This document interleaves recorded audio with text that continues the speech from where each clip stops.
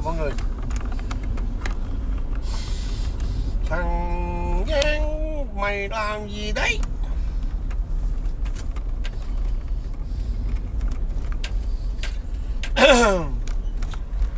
Chào mọi người nhé, chào chi võ, chào Giang.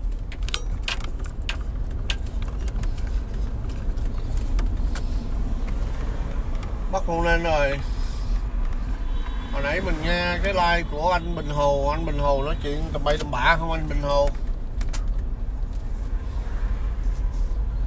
Có ai có bạn của Bình Hồ thác Bình Hồ vô đây với tôi ra tôi nói chuyện với ông coi.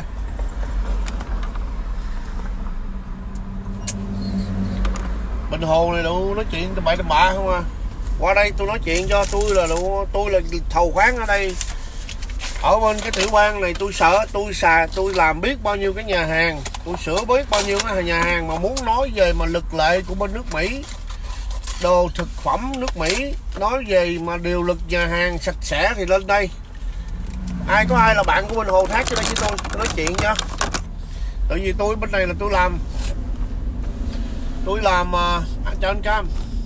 Uh, tôi ờ, tôi làm ờ, tôi sửa nói chung ra à, phở quà ở bên này tập đoàn phở quà ở bên này mấy cái nhà hàng bên này tôi làm.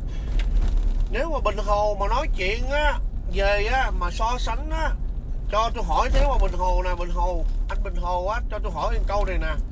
Tôi học cái bài toán của thằng bé thằng hải nó chỉ tôi nó hỏi nếu mà là không cộng không bằng mấy anh? Thì anh nói chuyện y chang vậy đó, trả lời cái đáp số. Nếu mà anh trả lời không được thì để tôi trả lời cho. Anh đừng có nói mà ở Việt Nam. Bây giờ trước khi anh qua Mỹ, anh Bình Hồ cho tôi hỏi, trước khi anh qua Mỹ, anh có mặc quần tà lõn không? Và anh có áo sơ mi đẹp giống như bây giờ không? Nếu mà anh trả lời trước khi anh qua Mỹ, anh có những cái bộ quần áo đẹp giống như mặc bây giờ, thì tôi ăn cất anh anh Bình Hồ nha không, em mới uống có hai chai, em đi về. Em đi về, tự em đâu có ấy, ngày mai em còn phải lên trên uh... cảm ơn anh Bình luôn em ngồi mới uống có hai chai, mà chưa tới hai chai nữa.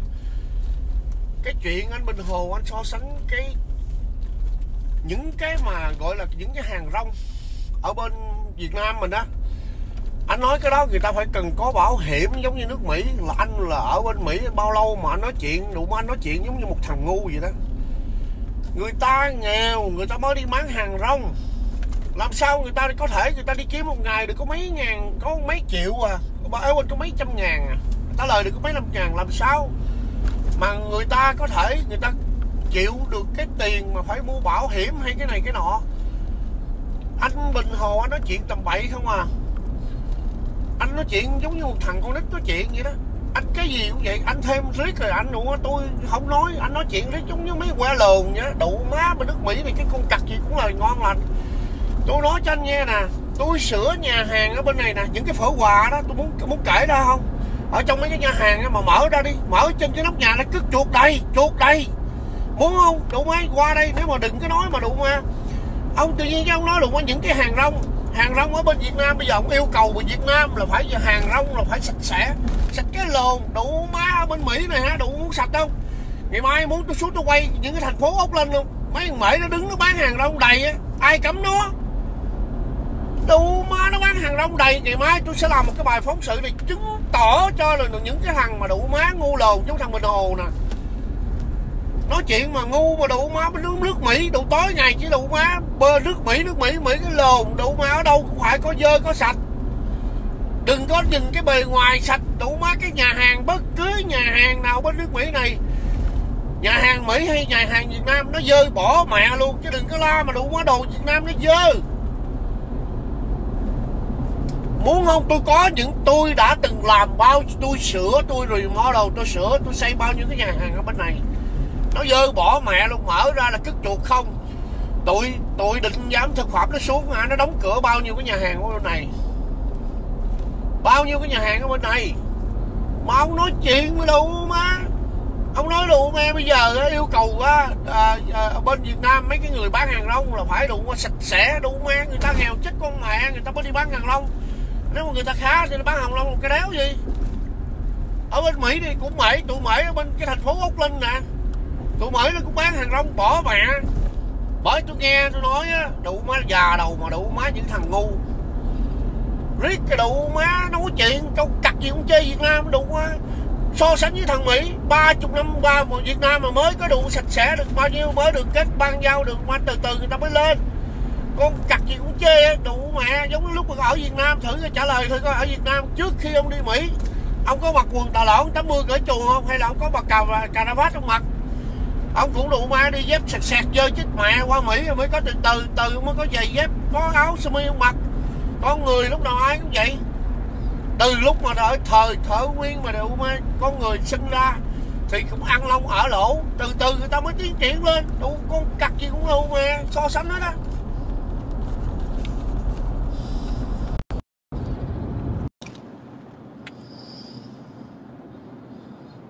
Lên nữa không lên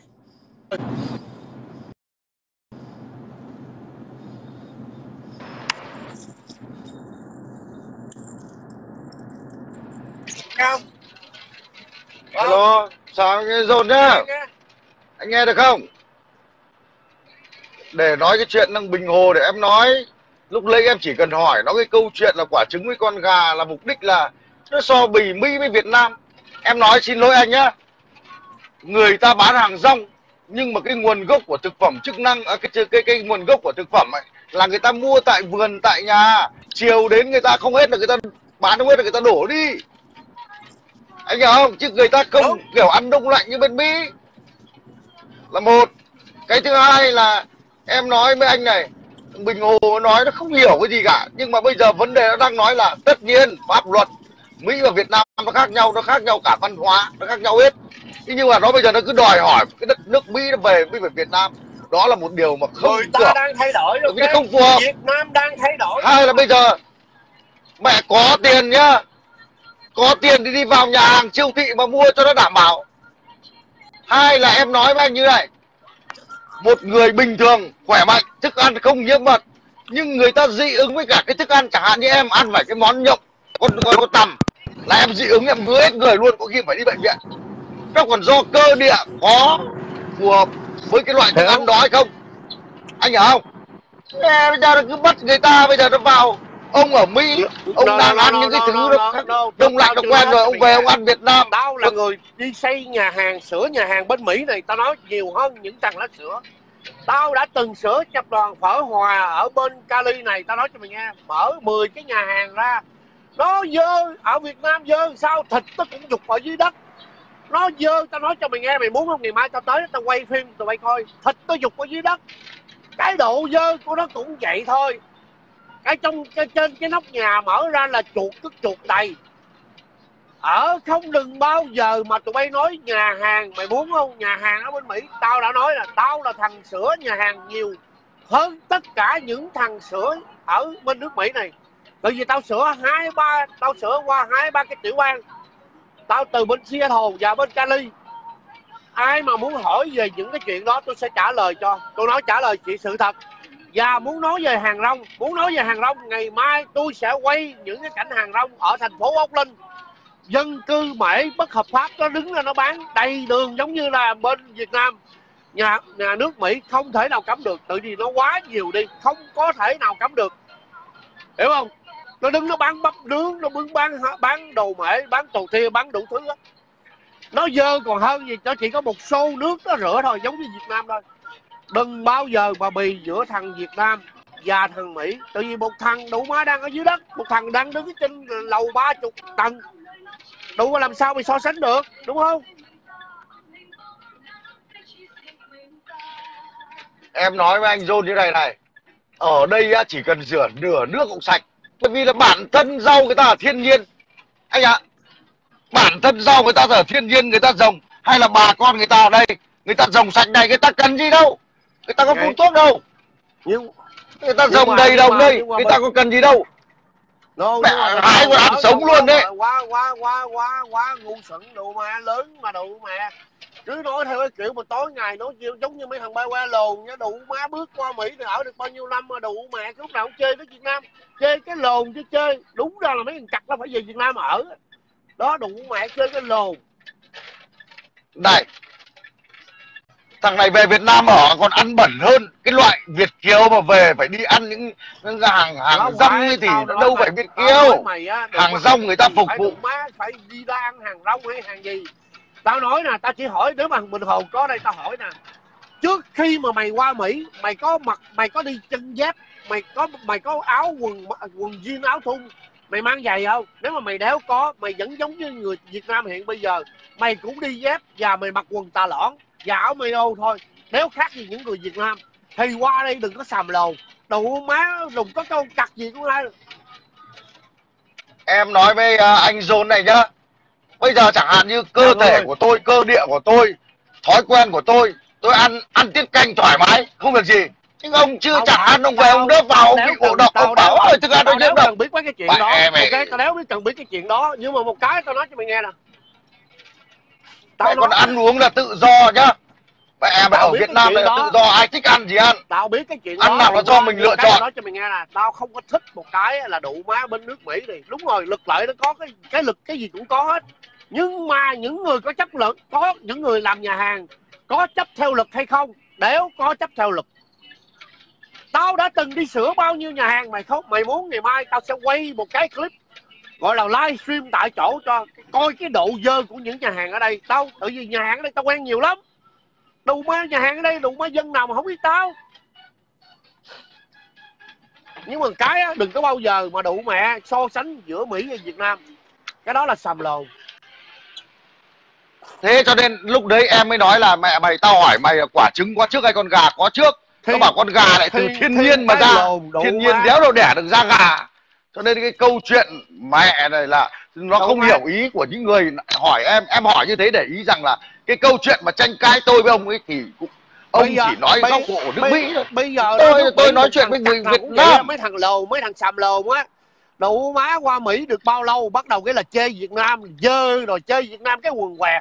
Con cặc tao đéo biết tụi bay là từ đâu hết á đủ má tụi bay cũng từ việt nam ra thôi. Cái lúc mà ở việt nam mày nghèo mày cũng phải đi bán hàng rong mày cũng phải đi bán nếu mà người quế người ta cũng phải đi bán bánh bột lọc. Đủ má nó dơ, còn hơn là cái dơ nữa. Có con cặc gì sống mà tới bây giờ người ta sống, người ta vẫn sống được. Đừng có bao giờ xàm lồn mà đủ má chê cái này chê cái kia. Tao đéo thích cái chuyện đó. Đủ má lên. Đấy này, em nói với anh Dô đây này, các bà hàng rong đây này, đây là ruộng rau này. Đấy, rất rẻ luôn. Đấy, rong thiên nhiên đây. Thế các bà hàng rong là bà mua là nguồn gốc xuất xứ bà có cái này hết ngày mà không bán được ấy là bà ấy là bà ấy thì đổ mẹ đi luôn chứ nó không phải như Việt Nam. Đây nói rau đây mẹ thực phẩm đây. Đây là toàn bộ hàng rong là hai mua đây nói ở đây chỗ đấy. Thấy thấy đây thấy, thấy, anh thấy. anh anh có nhìn thấy không? Đây rau đây. Đấy cắt Đấy. về cái loại này ăn luôn. Đúng không? Đây nhiễm độc đâu. đừng có bao giờ mà so sánh. Đây đây đây đây đây con đây đấy nhiễm độc đây. Thì mẹ câu lên một cái là thịt luôn ở ao tao đây. nói là rau rồng đây. Cho nên là ông ít mẹ cái lộ đây là các bà hàng rong hay đi vào trong những cái nhà dân như này. Đây rau đây như đây. Là họ mua tại đây luôn. Cho nên là cái kiểm soát là người ta đã là theo văn hóa rồi. Người ta có lòng tin người Việt Nam người ta có lòng tin với nhau. Và người ta có trách nhiệm với nhau chứ không phải đúng, vứt đúng, vào đúng, tủ mày cái gì cũng pháp luật nói- kiểm soát xong sau. Mẹ xong bắt đầu lại nói như mấy thằng mễ mẹ xong bắt đầu nó buôn lậu đúng, nó cho ăn nó mới chết anh hiểu không? Tao hiểu Đây. tao thấy rõ ràng. Anh nhìn đó đây? là tao hiểu. Cái đó là cái đây nền văn hóa Việt Nam mình là bao nhiêu năm nay là cứ ra rau sạch đồ sạch thì người ta nấu. Cũng có một số người người ta cái loại này nhá anh John nhá em bảo cắt em rửa ăn sống luôn.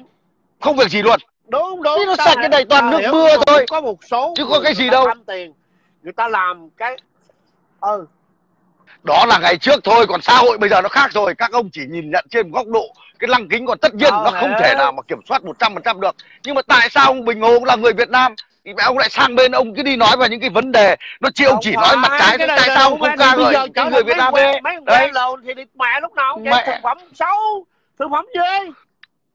Thì mẹ anh nhìn thấy không? Đấy nhà nào cũng trồng rau như này toàn cấp về Hà Nội hết sạch luôn nước đây từ không bao đó giờ có gì cả.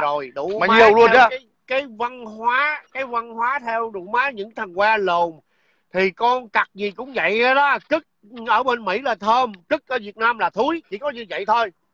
Mày hiểu tao nói gì chưa? Mà... đấy anh bảo em biết rồi anh ạ nhưng mà cái vấn đề bình hồ là bụng cái thằng này nó hỏng bụng bụng kiểu bụng đều. Cho nên ăn có khi á có khi nó uống mẹ mày nước nước ao lại không việc gì đâu nhưng uống nước đun sôi có khi lại đau bụng. Đủ má cái đau bụng là cái cái loại cơ địa của mày là cái cơ địa đều. thật hay không sự thật? Mày nghe tao nói nè con tao đẻ ở mỹ nè tao nói láo đụng mà tao lái xe cho trời đánh cho nếu mà tao lái xe là tao uống hai chai rượu là tao tao bị xe đụng chết đi. No để để loại rau này ngất một phát bụng ăn luôn. con tao đẻ nó đi về việt nam nè thằng con của tao á thằng út 26 tuổi nó đi về Việt Nam á cái đây hai năm đủ mà nó ăn trâu bò nó ăn mắm muối gì nó có chết con mẹ gì đâu mà nó sanh ở bên Mỹ đó. Mày nghe tao nói chưa? Không nhưng đấy là con anh dạ bụng dạ nó khỏe cái thằng bình hồ là bụng nó hỏng rồi anh hiểu. sanh ở bên Mỹ một thằng ở Việt Nam đủ mẹ làm sao mà khác. Thằng bên Mỹ nó ăn đủ mà hamburger nó quen rồi. Bình hồ cái này nó vẫn ăn gạo ăn nước mắm. Còn thằng con ta nó đâu có đủ mấy đâu nó về Việt Nam nó ăn phà phà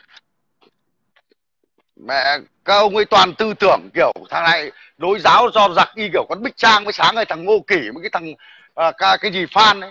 Ngồi cứ chém gió. Mẹ chúng mày toàn nói cái điều hay chúng mày cũng nói. Xã hội nào nó có mặt nọ mặt kia. Mày đi kèm cựa cả mấy bà bán hàng rong. Bán, bán hàng rong là một đất văn hóa Việt Nam. Bây giờ chính phủ cấm thì cấm được ngay. Bao nhiêu con người đấy thì sống bằng cách nào nếu mà cứ bán mà cứ ngộ độc thực phẩm thì ai ăn thì người ta tự phải ý thức được việc đó chứ. ngu lắm bọn này nó là không biết. Bà con nhớ hóng nha ngày mai ta sẽ quay một clip bán hàng rong ở bên Mỹ ngay thành phố Oakland California. Ngày mai tao sẽ làm một cái clip. Thì mọi người sẽ thấy tao nói là việc tao nói là tao làm là tao sẽ quay. Tao bỏ thời gian tao quay cho mọi người xem. Đi mẹ cái lồn què gì cứ, cứ hở một cái là đủ ở Mỹ. Mẹ đây đây ở quê đấy rau rồng mẹ mày nó sạch à, ăn có việc gì đâu. Hai là em nói với anh nhá hàng rong nào hay là hàng nào thì thôi. Người ta bán hàng là mong muốn phải bán được nhiều. Thế mà bây giờ bán nhiều thì bây giờ lại bị bảo là ngày mai đau bụng với ngày kia đi viện thì ai dám ăn nữa thì ngày mai bà bán hàng rong bán gì cho nên nó ngu nói ra mẹ những cái câu nói đó rất ngu dốt. là đủ.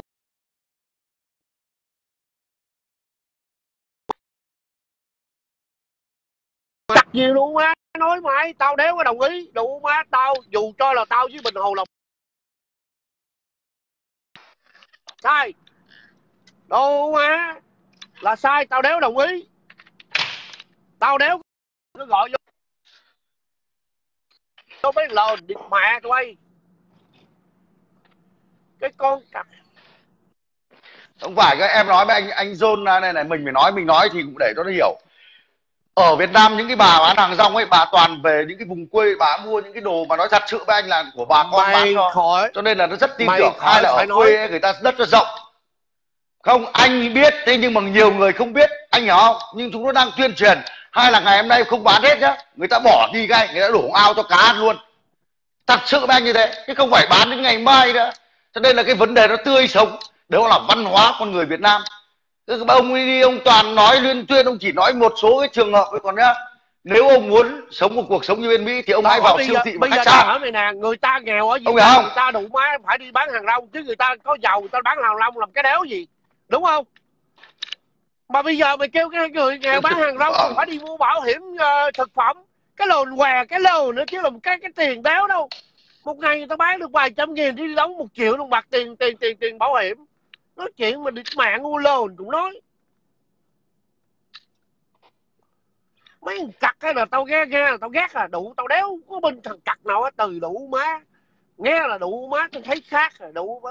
Ngày mai tao sẽ quay đủ má cái cảnh hàng rong ở bên mỹ chứ. Đi mẹ nó dơ, đủ mẹ nó dơ, còn hơn cái dơ nữa. Đủ mấy nhà đó là tham nhũng nha, bả từ bên việt à, bên canada bả về á, bả xây nhà ở bển á.